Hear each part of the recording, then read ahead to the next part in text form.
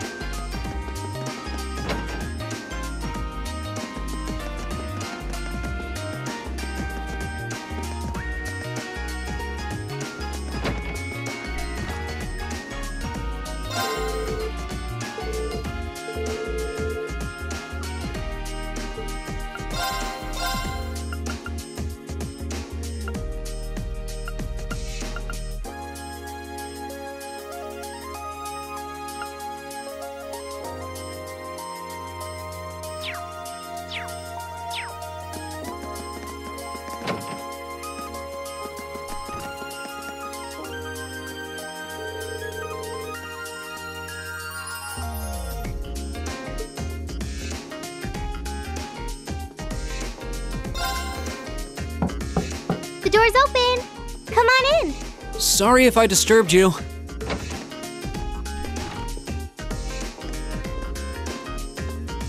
Oh, Rean! Not at all. Sorry for making you come all the way out here. Don't worry about it. It's class business anyway. That's quite the spread you've got on your desk there. Is it just me, or does your workload only ever seem to increase? Extra going on right now that's keeping me a little busier than normal. Anyway, this is Millium's notebook. Crow's already got one, along with the added pages on the Arcus units you all have, so she's the last one who needs it. All right, I'll be sure to pass this on to Millium next time I see her.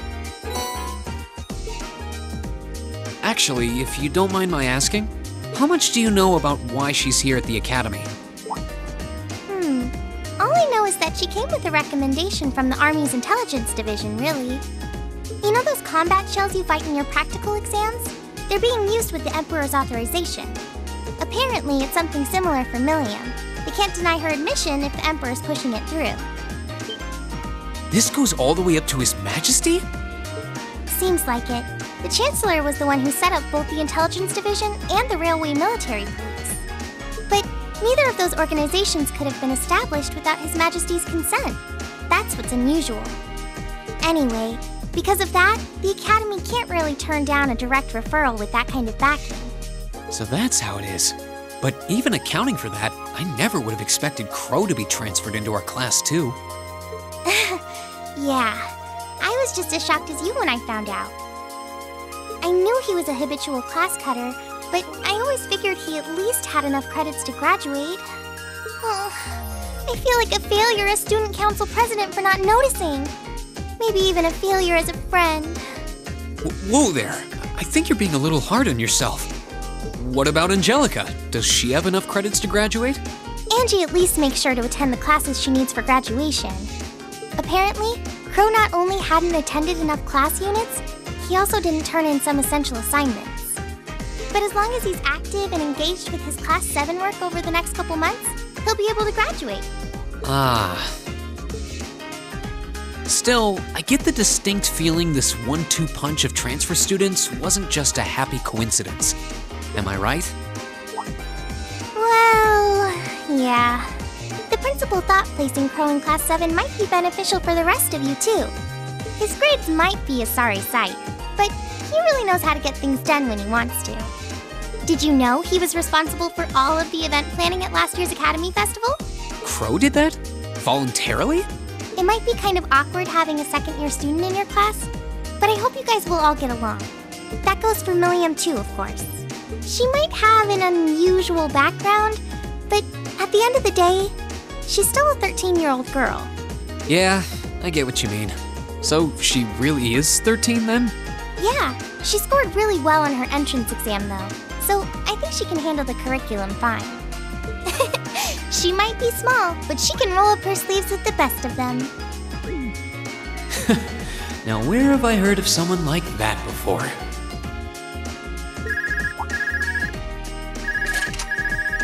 Oh, sorry. Looks like I've got a call coming in. Go ahead and answer. I wouldn't want you to miss anything important. Uh, alright. Excuse me then. Hello, Rean Schwarzer speaking. Hello, Rean. It's your favorite instructor here. Are you still on the Academy grounds by any chance? As much as it pains me to say it, I am. no need to sound so suspicious. It's just that after I gave Millium all the things I had for her, she just took off somewhere. You know how she tends to be kind of a mischief maker, so could you find her and drag her back to the dorms for me? all right. I can only imagine what would happen if she were to flash that silver thing of hers around on the Academy grounds again. Yeah, I'd really rather avoid a repeat of yesterday. Anyway, I leave it in your capable hands, brave leader of Class 7. Well, wait a second. When did I become the.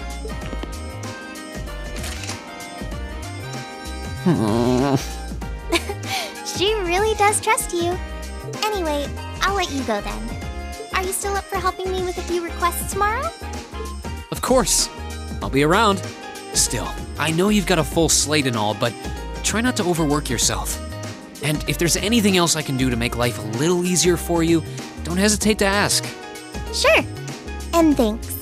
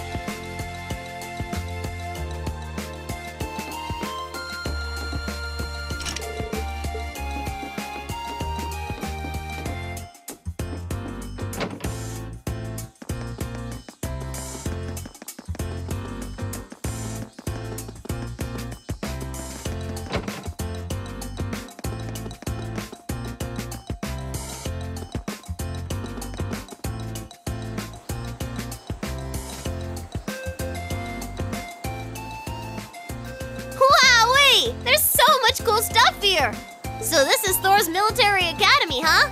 I think I'm gonna like it here. Ooh, I wonder what the view from the rooftop's like.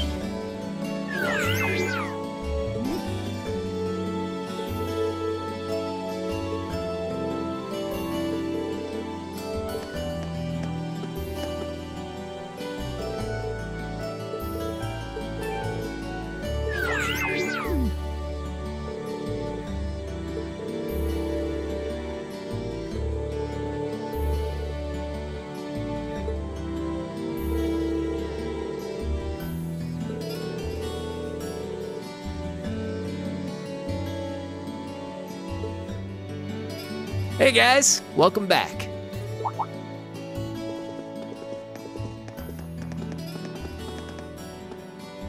Welcome back, everyone. Just been making myself at home here. C Crow? What brings you to our dormitory? Well, I am a member of Class 7 now, so I've been given the go ahead to move into this dorm now. What? Seems awfully sudden. But man, Sharon sure makes some amazing coffee. If I'd had a cup of that, I would have been banging down the door to join Class 7 months ago. You flatter me, Master Crow. Would you like me to bring some of the cakes I baked earlier as well? Do you even need to ask? Anyway, sorry it kind of came out of nowhere, but it's good to be here. Hmm. Looks like he's already made himself at home. So you're gonna be living here too, huh? Yep, us newcomers have to stick together, right? I just finished hauling all my stuff over from my old dorm.